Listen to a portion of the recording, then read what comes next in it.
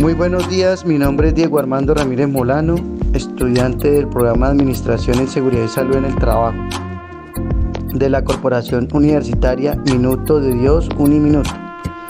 Para mí es un placer en este momento de esparcimiento académico donde se abordará un contexto académico de tres estudiantes.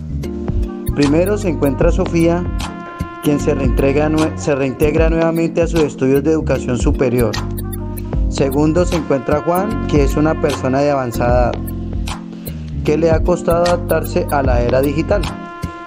Y de tercero se encuentra Canet, que es un estudiante de intercambio que no domina el lenguaje donde recibirá su educación.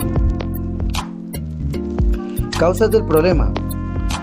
Diferentes estilos de aprendizaje. Primero se encuentra Sofía. Parece enfrentar dificultades en la comprensión de los temas lo que sugiere que su estilo de aprendizaje podría no estar siendo abordado de manera efectiva en el entorno académico. Segundo, se encuentra barreras lingüísticas y culturales. Canet, debido a su limitado dominio del idioma, enfrenta problemas para comunicarse y comprender lo que podría estar obstaculizando su proceso de aprendizaje. Y de tercero se encuentra la adaptación tecnológica de Juan, la cual cuya avanzada edad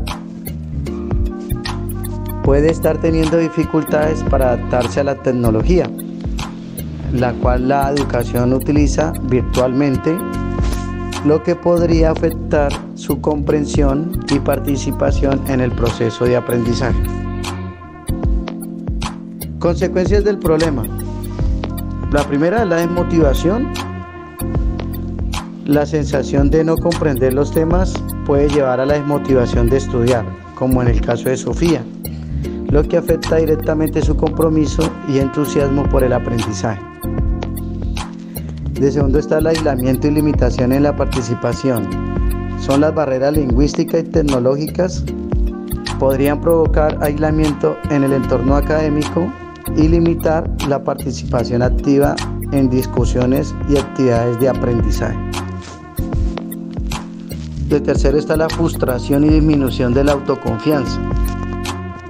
El no poder adaptarse al estilo de enseñanza a las herramientas tecnológicas puede generar frustración y disminuir la autoconfianza en el proceso de aprendizaje. Cuarto está impacto en el contexto inmediato. El problema identificado tiene un impacto significativo en el entorno educativo inmediato. Puede llevar a una disminución del rendimiento académico, una reducción en la calidad de experiencia educativa y una desconexión entre los estudiantes y el proceso de aprendizaje. Si los estudiantes logran adaptarse y encontrar su estilo de aprendizaje adaptándose a su entorno académico, permitirá la evolución de ellos, lo que consigo traerá beneficio a nivel personal y académico. Pues se debe reconocer que estamos en la era digital 4.0 en donde la facilidad al acceso a Internet ha revolucionado el proceso de aprendizaje y incentivando a los internautas a investigar y aprender por, por sus propios medios.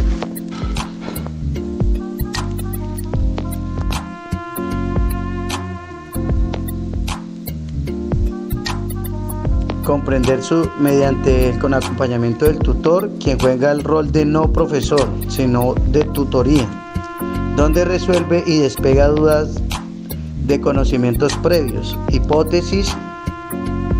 La quinta es hipótesis estructurada.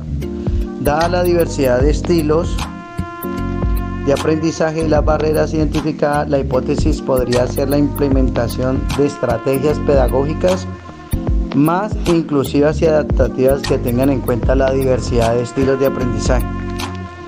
La inclusión de herramientas de apoyo para superar barreras lingüísticas y tecnológicas promovería un entorno de aprendizaje más efectivo y satisfactorio para todos los estudiantes involucrados. Muchas gracias por su atención, profe, muy amable.